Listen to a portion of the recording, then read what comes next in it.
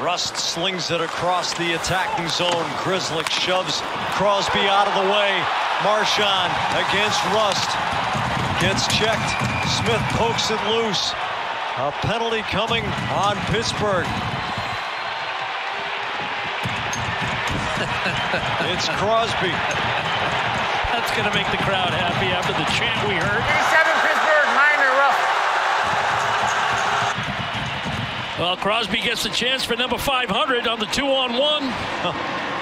He beats Swayman on the blocker side, but it's just going to get all post and stay out. I don't know if Swayman got a slight piece of that first or not. Yeah. Tough to tell. He may have.